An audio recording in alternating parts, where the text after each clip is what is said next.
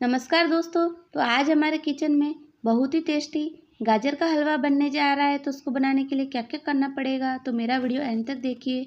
Ranjana sweet kitchen में आपका स्वागत है तो चलिए स्टार्ट करते हैं। तो देखिए, मैंने पतला पतला गाजर ले लिया है, उसको अच्छे से धो के सब गाजर को मैंने खींच लिया है। तो हमारी लास्ट गाजर है ये, इसको भी हम खींच लेंगे।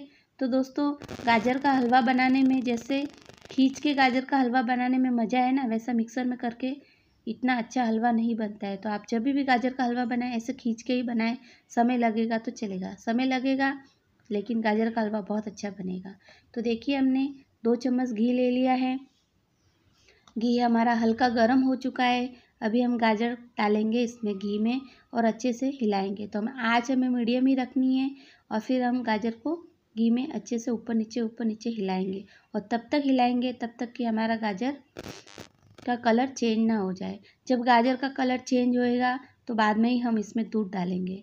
तो दोस्तों, अगर मेरा वीडियो आपको अच्छा लगे तो मुझे ज़रूर सब्सक्राइब करना और कमेंट करके बताना कि हमारा गाजर का हलवा कैसा बना है। तो देखिए धीरे धीरे गाजर का कलर चेंज हो रहा है। तो दोस्तों, हिलाते रहिए मीडियम आँच पे ही हिलाते रहिए तो कलर और थोड़ा थोड़ा चेंज होएगा। तो देखिए, और कलर चेंज हो चुका है तो अभी हम इसमें डालने वाले हैं दूध। देख सकते हैं आप? एकदम कलर चेंज हो गया है गाजर का। तो दोस्तों, आज हम एक किलो गाजर गाजर का हलवा बनाने जा रहे हैं। तो इसमें हमने पाव किलो से थोड़ा ऊपर दूध डाला है।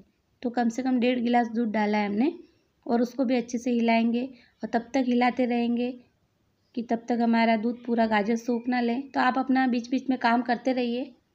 आके गाजर का हलवा हिलाते रहिए, काम करते रहिए। तो ऐसे ही गाजर का हलवा बनता है। तो देखिए अभी हम पाव किलो शक्कर डाल रहे हैं गाजर के हलवे में।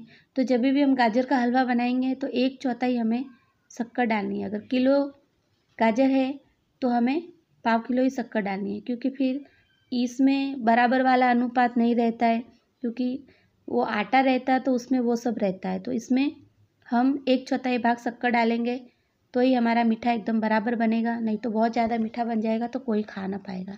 तो देखिए, हमने शक्कर डाल दिए तो शक्कर हलवे ने पूरे शक्कर को सोख लिया है। तो अभी हमने डाला इलायची पाउडर। इलायची पाउडर डाल के हम लोग हिला रहे हैं और धीमी आँच पे। हमारा गाजर का हलवा बन रहा है। तब तक हम लोग दूसरा काम कर लेते हैं। तो एक चम्मच हमने घी लिया है और काजू और बादाम को मैंने बीच में से काट लिया है। देख सकते हैं आप। तो अभी हम उसको अच्छे से हिला लेंगे। तो दोस्तों, हल्का सा हमें काजू और बादाम का कलर चेंज करना है और फिर हमें ये घी के साथ ऐसा का ऐसा गाजर के हलवे में डालना है। तो देखिए, हल्का कलर चेंज हो चुका है। तो हम गाजर के हलवे में डाल देंगे ये सब। तो इससे बहुत अच्छा टेस्ट आएगा दोस्तों, क्योंकि हमने लास्ट में भी डाला है और पहले भी डाला है। तो ये एक सीक्रेट है तो आप ज़रूर बना के देखना और फिर बोलना कि हमारा गाजर का हलवा कैसा बना है। तो अभी हमारा गाजर के हलवे में इतना भी पानी रहना नहीं चाहिए। तो देखिए, पूरा सब पानी गाजर के हलवे ने सोख लिया है तो हमारा गाजर का हलवा बिल्कुल तैयार है दोस्तों। तो ये बहुत अच्छा गाजर का हलवा बना बना है। आप ज़रूर बना के देखना और फिर खाना और फिर मुझे बोलना कैसा बना है और जाते जाते एक सब्सक्राइब ज़रूर करना।